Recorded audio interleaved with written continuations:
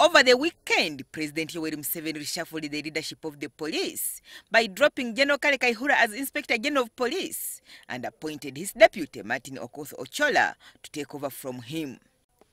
Julius Odwe, who was Deputy Inspector General of Police under Kale Kaihura until 2011, when he retired, has welcomed the move to promote Okoth Ochola, but has warned him to avoid his predecessor's mistakes if he intends to redeem the image of the police force. If Okoth Ochola had made any improvement or accumulated experience and is much more exposed, then he should bring that what is being desired by the citizens of Uganda. People of Uganda want peace, and some of them have been beaten. And really, in the new regime of the police leaders, are they going to beat the, the people? Are they going to assault them? Are they going to use kiboko? So that their names should continue to get uh, degenerated. So I, I give them uh, six months so for me and Ugandans to know if at all they are making any headway.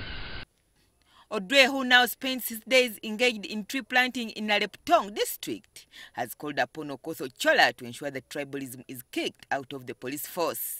Of course, the issue of tribalism and sectarianism and calling some police officers our people, meanwhile the others are not our people, and taking disciplinary action where you just put people in a katebe, they have no office. Those methods have never been in the police. And if they can remove those measures, then they will save the image of the police. Odwe, who has been critical of the leadership of Kayihura since his retirement, has also asked President Yoweri Museveni to stop appointing army officers to head the police force. Now the army officers have been leading police for the last uh, 17 years. They do not know the, the specifics, the requirements, the needs, and the direction which the police should take because they are also visitors. I had said earlier on that, you know, coming in of the military is like an aid. Giving aid to the police is, is not enough. The police officers themselves must be developed to lead the police because police officers know how to develop police officers.